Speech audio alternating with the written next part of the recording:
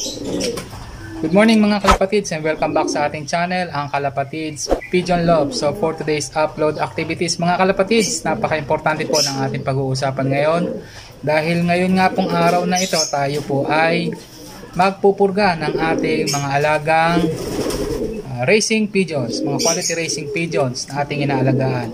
So, pero bago po ang lahat, kung hindi pa po kayo nakaka-subscribe sa ating YouTube channel, paki-like, subscribe, and share na rin po para lagi kayong updated sa ating mga bagong upload videos.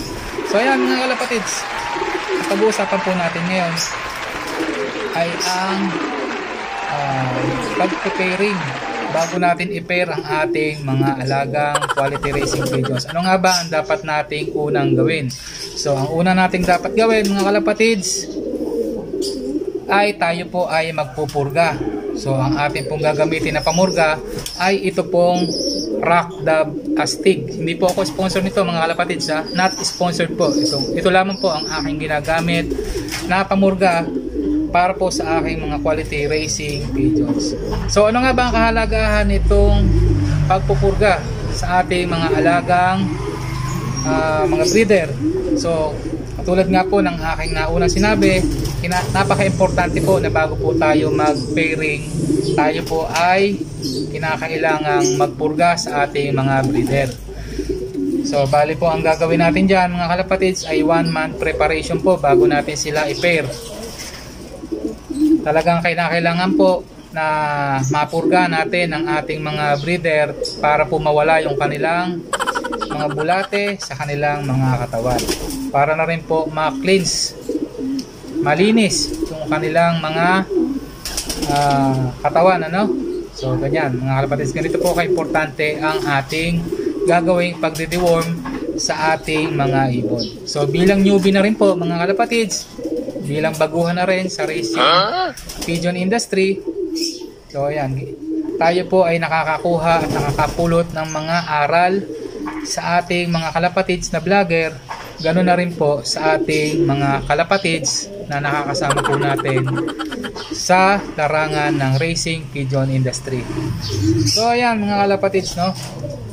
Tayo po ay uh, tinutulungan na rin ang ating kasangga na si Mr. Kevin Karikitan dahil po siya ay uh, uh, bihasa na rin sa pag-aalaga ng quality racing pigeon. So pinuturuan niya po tayo kung ano po ang mga mahalagang bagay bago po natin gawin sa ating mga ibon. So, bago po ako magdesisyon mga kalapatids ay sinasangguni ko, po, muna po sa ating mga kalapatids kung ano po ang dapat gawin kasi po nakakapanghinayang mga kalapatids na na kapag mayroon tayo naging desisyon at nauwi sa pagkakamali ay sayang ang ating mga pinagpaguran at sayang din po ang ating mga alagang mga ibon.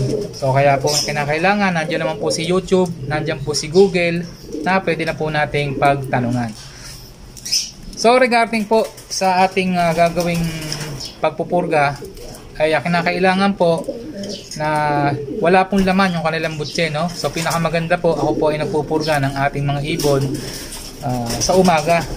Sa umaga po ako nagpupurga wala pa pong kain ang ating mga ibon. So, bibigay na lamang po tayo ng pagkain sa hapon. So, ayan, mga kalapatids. Sa hapon po ako nagbibigay ng ating mga uh, patuka para sa ating mga na-deworm na ibon. Nang sa gayon, kaya hindi natin pinapatuka ang ating mga breeder, no?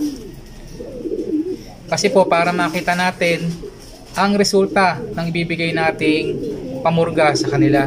So kasi po mga kalapatids, kapag po pinakain natin ang ating mga breeder na ating pupurgahin, ay isusuka lamang po nila ito at masasayang lamang po ang kanilang mga kinain. So kaya kinakailangan po, wala pong laman ang kanilang mga butche bago po tayo mag deworming sa kanila.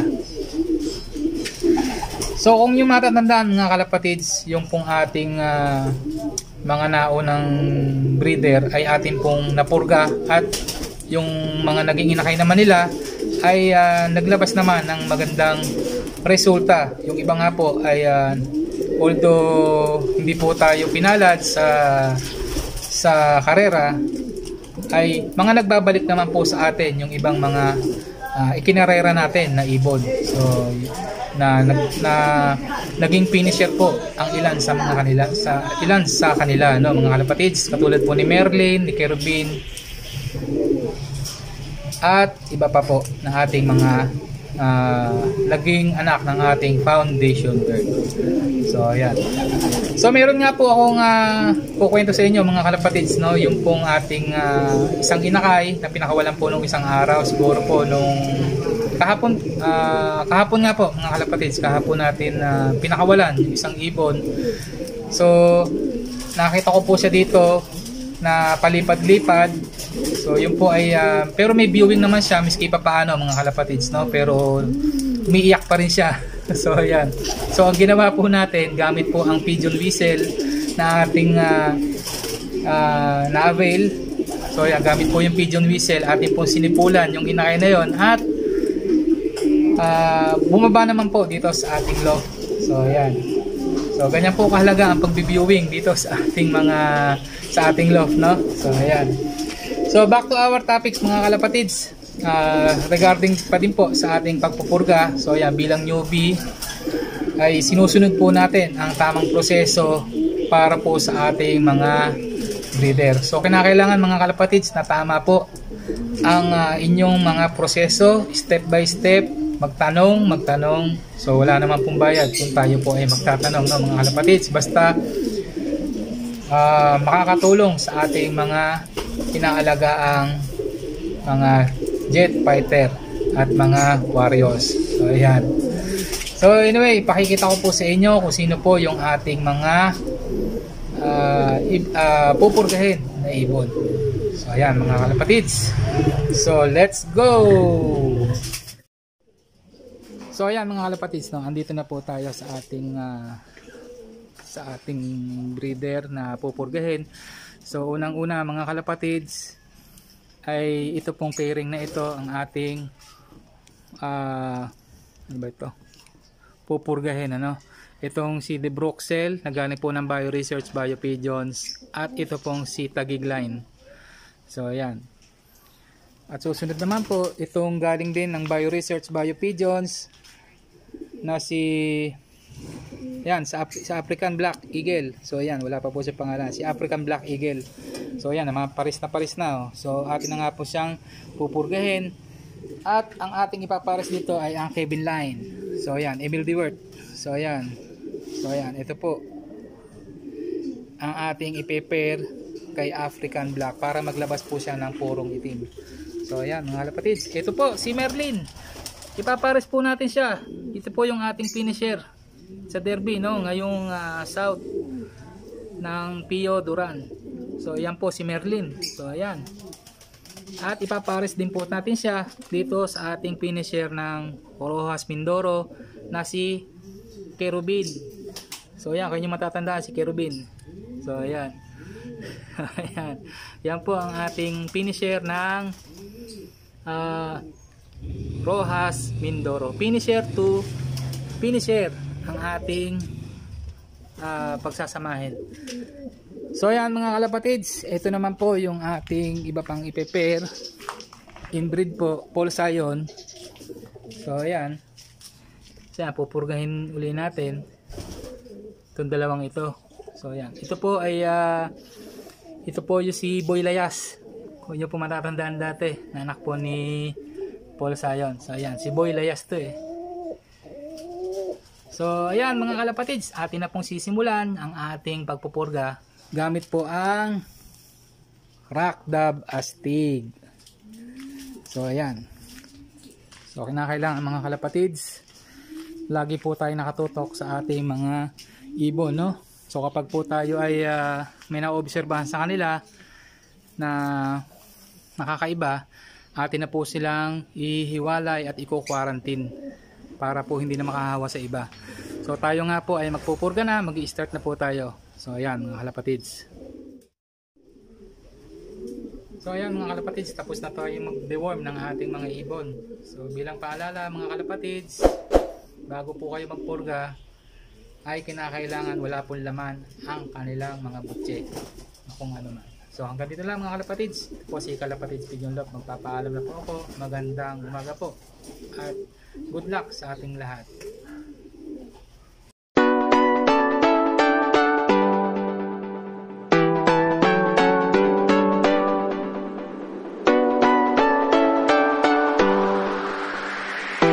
The next day. So, pahabol mga kalapatids, ayan, nagpaligo uh, tayo ng ating mga jet fighter.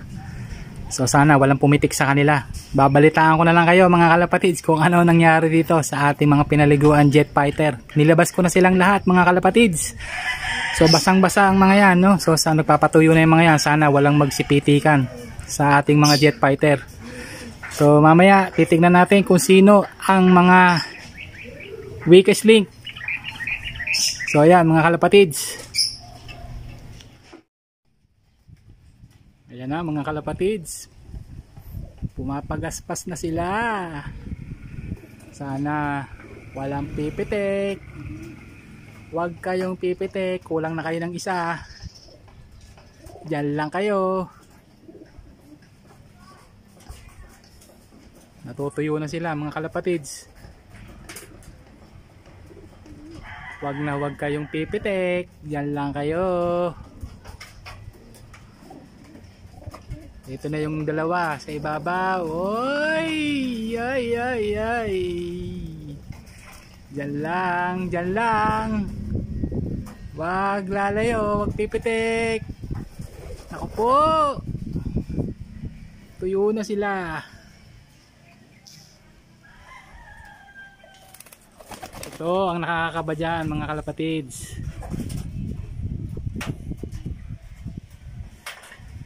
So ito yung iba natin. Oop! Yeah, mane popcorn. Diyan lang kayo.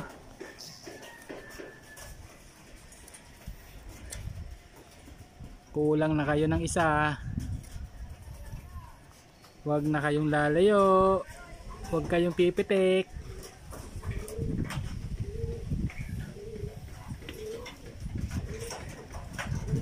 yun mga kalapatids ang isa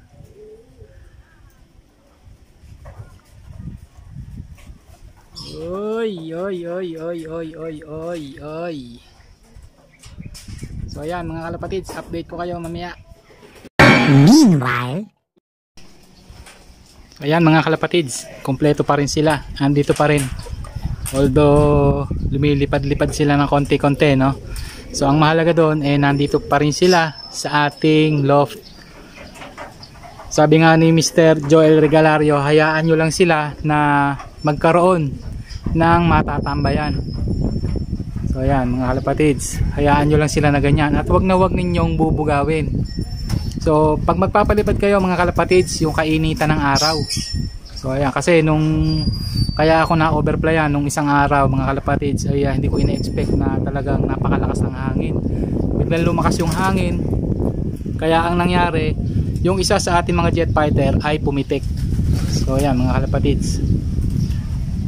Sana mga kalapatids eh walang mawala sa mga ito. So ayan. Ito ang ating mga jet fighter dito sa ating bagong loft. So ayan ito yung iba mga kalapatids so anyway ayan andito na sila tumatambay babantayan natin sila so siya nga pala mga kalapatids napaka importante na kapag tayo ay magpapakawala ng ibon na bagong ligo sikapin natin na babantayang mabuti kasi hindi natin masasabi yung mga predator katulad ng pusa. Yan mga kalapatids. Mga daga. Yan. Wala naman daga pagka ganitong ano mga kalabatids so ayan yung mga pusa ano na umaatake sa ating mga alaga. So kailangan natin na bantayang maigi. Pagka ganitong ang ating mga jet fighter ay makakawala no? So ayan kaya natin maka-establish sila ng uh, matatambayan nila. At ang pinakamalaga mga kalapatids ay yung pagpasok nila sa trapping maya maya mamaya. So ayan. Pagka magpapakain na tayo ng ating mga jet fighter. So ayan mga kalapatids. Uh, i-update ko ulit kayo kung ano na nangyari sa ating mga alaga maya maya po lamang. At uh, atin titingnan kung sila ay magsisipitikan o hindi. Moments later. Yan mga kalapatids. Uh, magandang araw ulit sa inyo no? so ayan kompleto po yung ating uh, mga jet fighter na nandito. So walo pa rin po sila.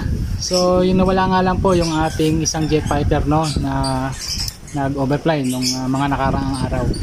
So as of now mga kalapatids, kompleto po yung ating ah, jet fighter. So ang bilang na lang po nila ngayon ay 8 out of 8. So ayan, effective po yung ating ginawang pag-viewing sa kanila. So hindi pa po sila lum- rumoronda.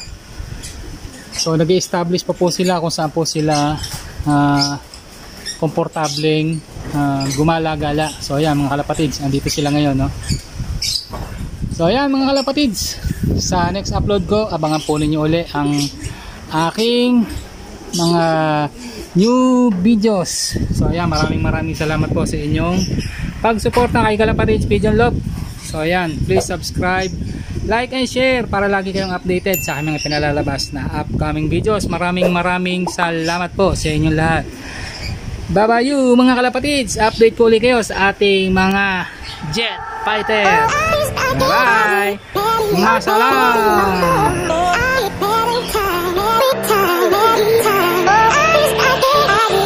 Oh, my God.